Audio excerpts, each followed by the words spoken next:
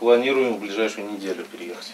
Было 5 съемных метров, стало почти в 10 раз больше и, главное, своих. Сегодня утром Наталья и Александр Касьяновы узнали о том, что у них будет новая квартира. Подарок под Старый Новый год сделала городская власть.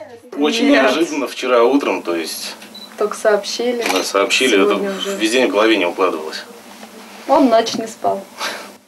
Так, где у нас квартира? Ключи от квартир сегодня получили пять семей медиков. Бесплатное жилье им выделил город. Олег Грищенко уверен, что работникам муниципальных учреждений надо помогать в первую очередь. Сам глава Саратова в свое время решал квартирный вопрос с помощью предприятия, где работал.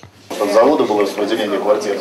Да, еще предприятие распределяли. И мы караулили до тех пор, пока, значит, не, не поставили собственную дверь, значит, э, с замками с такими, что, не дай бог, кто-то квартиру не занял. В современные квартиры можно переезжать хоть сегодня. Обои, линолеум, сантехника. Осталось расставить только мебель. Кто-то из новоселов решил купить в первую очередь обеденный стол, а кто-то диван.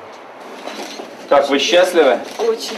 Вот и мы тоже вместе с вами сегодня счастливы. Вот такое мероприятие. И накануне Старого Нового года вот городская власть решила сегодня сделать доброе дело. Скоро в разных районах Саратова новые квадратные метры будут осваивать еще 65 семей врачей и педагогов. Я не помню, чтобы а, а, за один раз такое количество квартир выдавалось в городе. Сейчас в саратовских школах и больницах трудится только 10% молодых специалистов. Чтобы на работу в муниципальные учреждения шли охотнее, глава города предложил создать фонд служебного жилья. У нас в городе есть муниципальные учреждения, где работает большое количество э, различного рода специалистов, которые нуждаются, естественно, в улучшении жилищных условий. И сегодня такая у города возможность э, появилась благодаря усилиям депутатам э, Государственной Думы, председателю областной Думы, депутатам исполнительной власти города, власти в целом. Я ее не хочу даже разделять.